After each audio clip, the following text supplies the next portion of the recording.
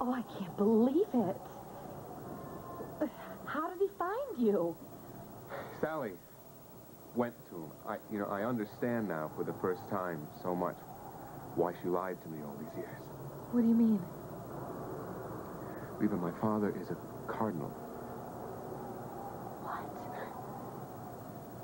Sally knew him when she was still in Tulsa. He hadn't joined the seminary yet. And he didn't even know that she was pregnant. Well, where where did you talk to him? Right here. Right here. He's, he was here just a few minutes ago. Oh, Reva. The man has got such a sense of presence. He has such bearing and integrity. It just sort of resonates.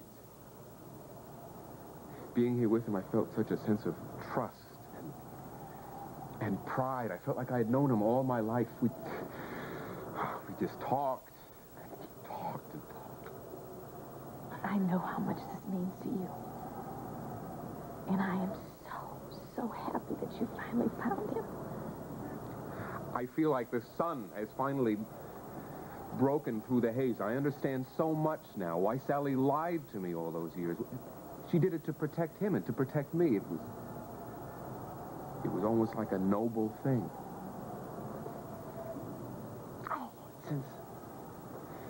Since he's gone, I've been standing here and I've been thinking about all the things that I wish I had said to him. I wish I had said this. Or I wish I had said that. I wanted to tell him everything. Well, you can, now that you found him. No, I can't. He took a tremendous risk in contacting me like this, and he'd do it again, I know, if I asked him, but that would mean putting in jeopardy everything that he's worked for his whole life, and I, I can't ask him to do that. Must have been hard saying goodbye. It was one of the hardest things I've ever had to do. For a moment there, I didn't want to let him go. I knew I had to. But I felt like a child again. I... I wanted to grab a hold of his hand. Not let him go, not ever. Oh, Reva, I miss him already. You know, all my life, I thought about what it would be like when I finally met my father. And now it's over, just like that. You feel disappointed? Well, not really. It's just that I always looked at it as being a beginning, but it's not. It's, it's an ending. I just wonder what it would be like if, if I had had him when I was growing up. I know what you mean. That's right, of course you do. It's got to be different for someone who grows up who has a father's stamp of approval, who has someone to share his, his pain and his victory, and I promise my child is never going to have to imagine what that feels like. I know. Your child's going to have a wonderful father. I'm going to do my damnedest to be a good father. I'm going to be there for him from the, from the day that he's born. I'm going to take that child in my arms, and I'm going to promise him, I'm going to promise him the world.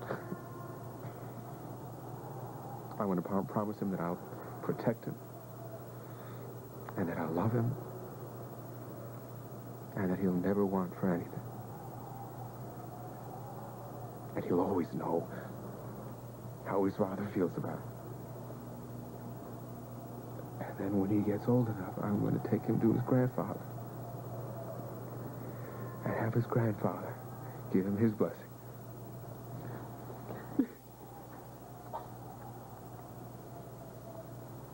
Uh, it, I'm not upset because it's because I'm hurt or anything. I'm not. It, I finally feel at peace. I know, honey. I know you understand. You're the only one in the whole world who does. And you know what I believe? What I truly believe is that there's a reason for everything in this world. That no matter how random and arbitrary everything seems sometimes. There's always logic behind the craziness. You mean you think there was a reason that I didn't know who my father was until now? Mm-hmm. I think it made you who you are today. I think it it was lonely and it was painful, but it it made you strong.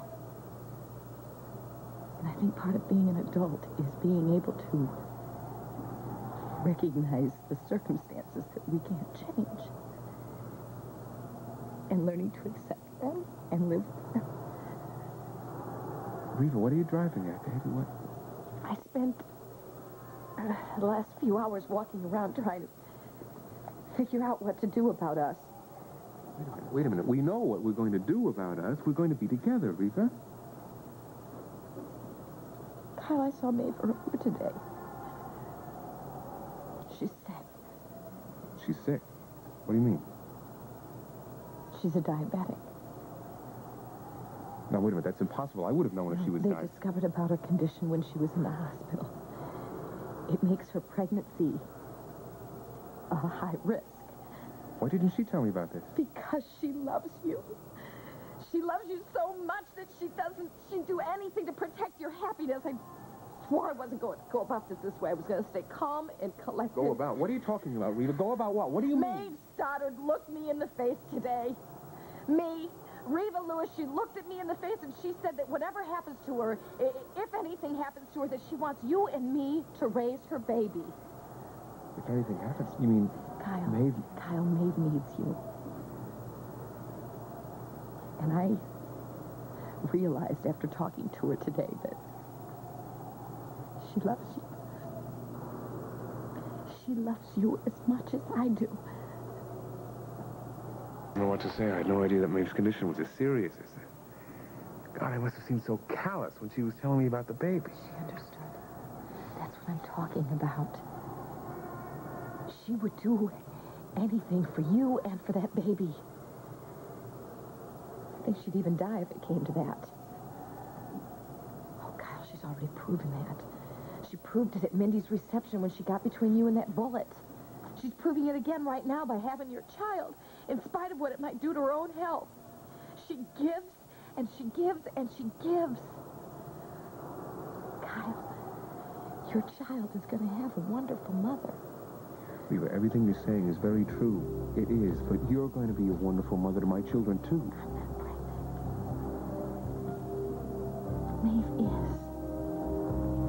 Is the child you have to concern yourself with now. I am concerned with that child. I am, and with Maeve, too. But that doesn't have anything to do with us. It has everything to do with us. Do you really think you can tear yourself down the middle and make anybody happy? You and me and Maeve and the baby. It's not going to work, Kyle. It won't work. No, I can't believe you're saying this, Reva. I won't believe it. We have been through too much to turn away from each other. You don't have a choice. The child won't come between us, Reva. Nothing will come between us. Listen to me, please. You have been standing here promising to give that child everything you never had. Promising to give him his father. Yes, that's right. Well, being a father means being the head of a household. It means working with that mother to make a home. It means family. That's all part of it. It's not just some name on a birth certificate. It, it's not just visiting that child every other Saturday and taking him to the park. Family makes things fall into place. Gives the child a sense of identity, makes him feel whole.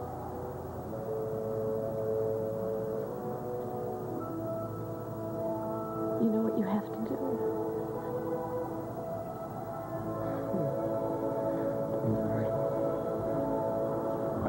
Give you up. I don't think I can go through giving you up again. You can go through anything for your child. I mean, you already love him, don't you? I mean, you want to give him everything. You want to, you want to do right by him, don't you? Please, Kyle, go to him. Give him everything you never had.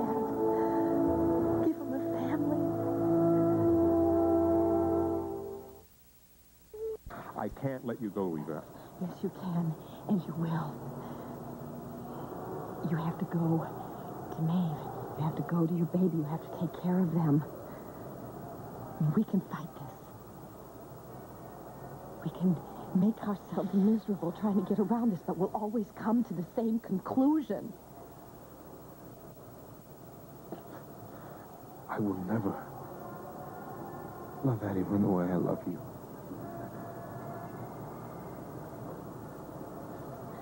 I'll always love you. We'll always love each other, Kyle. Nobody can take that away from us. It's too strong. And that is what's going to enable us to do what we have to do now. I just wish things had turned out differently. I know. So do I. My darling, so do I. But at least I feel... I feel better knowing that you're going to have what you always wanted. Oh, Kyle, you're going to be part of a family. But I wanted you to. I wanted you to be my family, Reva. Go to Maeve. Go to Maeve. Take care of her. Take care of your baby. Be happy.